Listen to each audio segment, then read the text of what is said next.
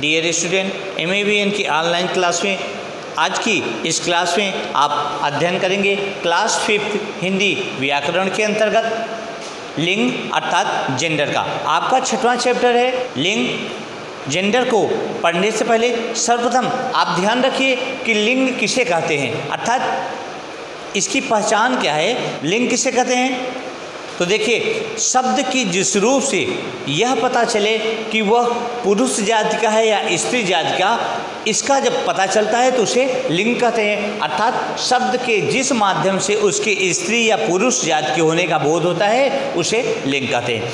अब उसके बाद लिंग के कितने भेद होते हैं? तो देखिए, संस्कृत में लिंग के तीन भेद होते हैं।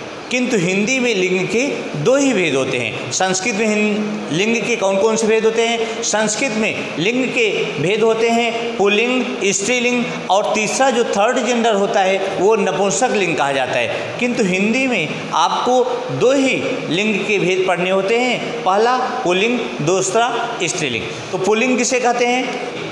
शब्द की जिस रूप से उसके पुरुष जात के होने का बोध होता है, शब्द, अर्थात वह शब्द जिसके द्वारा उसके पुरुष जात के होने का बोध होता है, उसे पुल्लिंग कहते हैं। जैसे पिता, जैसे लड़का, जैसे बालक, जैसे मुर्गा, जैसे बंदर, इत्यादि बहुत सारे ऐसे उदाहरण हैं जिनको आप व्यक्त कर सकते हैं। अब बात करते हैं, स्त्रीलिंग किसे कहते हैं? तो देखिए, शब्द की जिस रूप से उसकी स्त्री जात के होने का बोध होता है, उसे स्त्रीलिंग कहते हैं। अर्थात जिन शब्दों के द्वारा उसके स्त्री होने का बोध हो उसे स्त्रीलिंग कहते हैं। जैसे मुर्गी जैसे लड़की जैसे बंदरिया जैसे चूहिया इत्यादि बहुत सारे ऐसे शब्द आप समझ सकते हैं आप इसे लिखकर व्यक्त भी कर सकते हैं।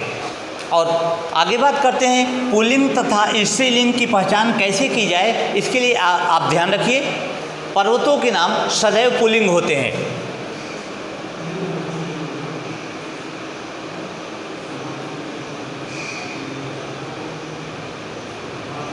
ठीक है? दिनों दिनों और महीनों के नाम सदैव पुलिंग होते हैं किंतु इनमें कुछ अपवाद है। अब अपवाद क्या है? अपवाद का मतलब कि वह जिसे स्त्री और पुरुष दोनों में ही मान लिया जाता है तो इस प्रकार से वो अपवाद होता है यानी उस उसका कोई निश्चित स्थान नहीं होता। इस प्रकार से दिनों और महीनों के नाम सदैव क्या होते हैं? पुलिंग होते हैं। जिसमें मई और जनवरी को छोड़कर यह आपको ध्यान रखना है, मई और जनवरी अपवाद हैं तो इसलिए इन महीनों को छोड़ देना है आपको। वृक्षों के नाम, वृक्षों के नाम भी सदैव क्या होते हैं? पुलिंग होते हैं। ठीक है? किंतु इसमें इमली एक वृक्ष होता है, उसको छोड़कर। इमली का जो पौधा होता है, वो अपवाद है। ठीक है? देशों के नाम, देशों के नाम भी पुलिंग होते हैं। ठीक? लेकिन इसमें श्रीलंका को छोड़कर, श्रीलंका क्या है? अपवाद है। सागरों के नाम, जैसे सागरों के नाम सागर भी पुलिंग होते हैं। जितने भी सागरों के नाम हैं, वे सभी क्या हैं? वे सभी पुलिंग हैं। जैसे प्रशांत महासागर, हिंद महासागर, अंध महासागर अटलांकित ऐसे जितने भी सागर हैं, ये सभी क्या हैं? ये सभी पुलिंग के अंतर्गत आते हैं। ग्रहों के नाम, सूर्य, चंद्रमा, पृथ्वी पृथ्वी अपवाद है, इसको आपको ध्यान रखना है, जो ग्रहों के नाम हैं, ग्रह भी पुलिंग है। किंतु इनमें पृथ्वी अपवाद है। महाद्वीपों के नाम, एशिया, अफ्रीका, इस प्रकार से ऐसे बहुत सारे हैं, जो पुलिंग के अंतर्गत आते हैं। जैसे फूलों के नाम होता है, किंतु चमेली इसमें अपवाद है। जैसे द्रव्यों के नाम है, घी, दूध, तेल इस प्रकार से हैं, रत्नों के नाम हैं, ये सभी पन्ना पोखरा जीरा, जवाहरात, सोना, चांदी, ये सभी पुलिंग के अंतर्गत आते हैं।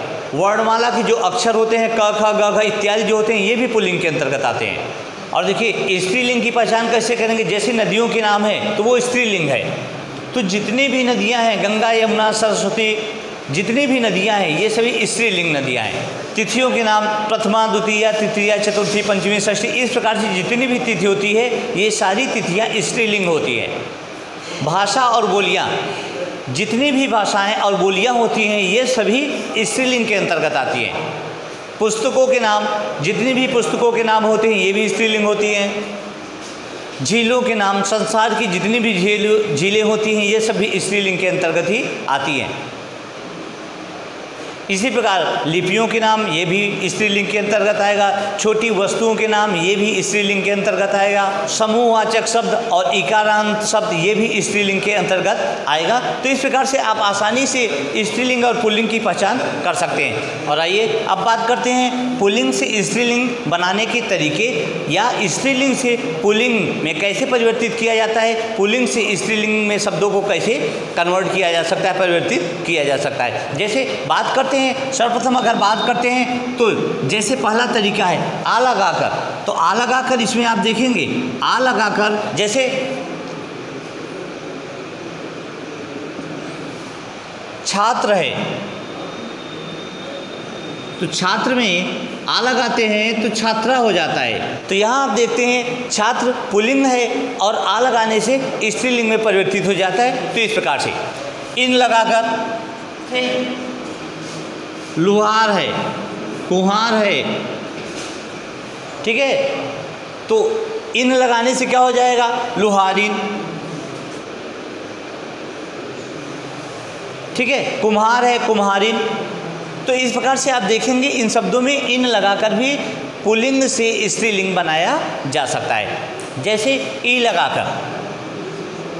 ठीक है? ई लगाकर आप देखेंगे, यहाँ भी पुलिंग से स्त्रीलिंग बनाया जा सकता है। जैसे लड़का शब्द था इसमें ई लगा दिए तो क्या हो गया? लड़की हो गया तो ये स्त्रीलिंग में तो ये स्त्रीलिंग में परिवर्तित हो गया। तो इस प्रकार से ई लगाकर पुलिंग से स्त्रीलिंग में उसे परिवर्तित किया जा, सकता है। जैसे नी लगाकर।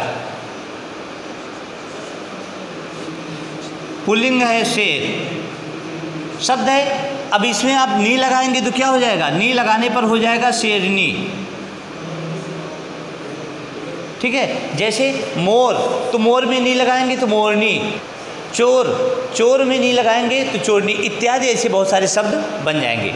अगला है आइन लगाकर। आइन लगाकर पुलिंग से स्त्रीलिंग में कैसे परिवर्तित किया जा सकता है? जैसे शब्द है आपका पंडित। ठीक है? पंडित शब्द में जब आइन लगाएँगे तो क्या हो जाएगा? पंडित आइन। या और भी उदाहरण, ठाकुर का आइन लगाएँगे। ठकुराइन इस प्रकार से आप आइन लगाकर भी पुल्लिंग से स्त्रीलिंग में परिवर्तित कर सकते हैं। वान को वती तथा मान को मति, इस प्रकार में परिवर्तित करके भी पुल्लिंग से स्त्रीलिंग बनाया जा सकता है। जैसे वान में देखिए, वान में है भगवान। तो भगवान को वती में बनाना है तो क्या हो जाएगा? भगवती।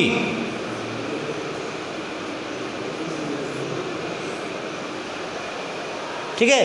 अब मान को मति में चेंज करना है, परिवर्तित करना है, यानी पुलिंग से इसको स्त्रीलिंग में बदलना है। तो श्रीमान श्रीमान यहाँ पुलिंग था, और जब स्त्रीलिंग में परिवर्तित करेंगे तो हो जाएगा श्रीमती। ठीक है? तो इस प्रकार से पुलिंग से स्त्रीलिंग में बनाने के और भी बहुत सारे तरीके हैं, जैसे एका जोड़कर। पाठक है, पाठिका, गायक है, गायिका। तो आपको ध्यान रखना है कि ईका जोड़कर भी आप चाहें तो स्त्रीलिंग से पुलिंग पुलिंग से स्त्रीलिंग बना सकते हैं। जैसे आनी जोड़कर। जेठ है, जेठानी, देवर है, देवरानी, ठीक है? तो बहु है, बहु रानी। ऐसे शब्दों में आनी जोड़कर भी पुल्लिंग से स्त्रीलिंग उसे बनाया जा सकता है। लेकिन आपको ध्यान रखना है, कुछ शब्द ऐसे भी हैं जो पुल्लिंग से स्त्रीलिंग बनाते समय हमेशा उसके अपोजिट हो जाते हैं, उल्टे रूप में हो जाते हैं। नर का, नर पुल्लिंग है तो नर का स्त्रीलिंग क्या होगा? मादा होगा। माता स्त्रीलिंग है तो माता का पुल्लिंग क्या होगा? पिता होगा। तो इन शब्दों में आप देखते हैं कि इनको स्त्रीलिंग से पुल्लिंग में बनाते समय या पुल्लिंग से स्त्रीलिंग में परिवर्तित करते समय ये शब्द क्या हो जाते हैं? ये हमेशा अपोजिट हो जाते हैं, विपरीत शब्दों की तरह हो जाते हैं। और कुछ शब्द ऐसे भी होते हैं जो हमेशा पुल्लिंग और नित्य स्त्रीलिंग होते हैं। जैसे आप देख लीजिए, आपका कौवा है तो कौवे में आप क्या उसको बोलते हैं? आप कौवे को, ऐसा तो नहीं है कौवा कौवी बोलते हैं ऐसा तो नहीं बोल सकते। तो उस कंडीशन में अब क्या बोलते हैं? नर कौवा, मादा कौवा। यानी नर लगाने से उसके पुरुष होने का बोध होगा और मादा लगाने से उसके स्त्री होने का बोध होगा। जैसे छिपकली है तो आप बोलते हैं नर छिपकली, मादा छिपकली। जैसे चीता है तो आप बोलते हैं नर चीता, मादा चीता। जैसे तितली है तो तितली पुल्लिंग के लिए आप क्या बोलेंगे? नर तितली और स्त्रीलिंग के लिए मादा तितली। जैसे चिड़िया है तो नर चिड़िया, मादा चिड़िया। तो इस प्रकार से ऐसे बहुत सारे शब्द होते हैं जो हमेशा स्त्रीलिंग और पुल्लिंग में होते हैं। उनके सामने नर और मादा लगाकर उन्हें प्रदर्शित किया जाता है। तो इस प्रकार से बच्चों, आज लिंग, जेंडर के अंतर्गत आपने किस प्रकार से पुलिंग से स्त्रीलिंग में परिवर्तित किया जाता है? स्त्रीलिंग किसे कहते हैं? पुलिंग किसे कहते हैं? लिंग के कितने भेद होते हैं? और लिंग किसे कहते हैं? इस प्रकार आपने आज की इस वीडियो में इन सभी का अध्ययन किया। तो आज के लिए बस इतना ही। Thank you so much